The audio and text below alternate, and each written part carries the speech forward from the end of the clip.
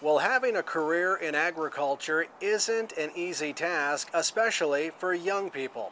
And that's why the Montana Farm Bureau Young Farmer and Rancher Committee held its YF&R Leadership Conference this past weekend at Fairmont Hot Springs to give young people interested in agriculture an opportunity to network with others and more.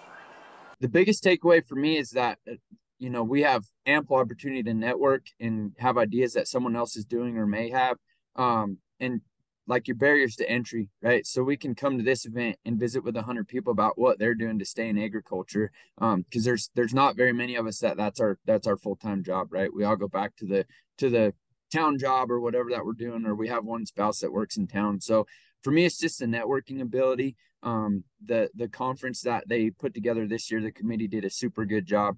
Um, and the idea was value added. What value can you take back to your operation whether it be yourself your operation um, where you work every day at your job? What can you bring back after leaving here? By the way this year's Farm Bureau Fusion Conference will bring together an estimated 1,000 young agricultural leaders from across the country, including from right here in Western Ag Network country in Jacksonville, Florida, March 3rd through the 6th to learn, share, and grow together to help build a stronger Farm Bureau. Get more details at fb.org.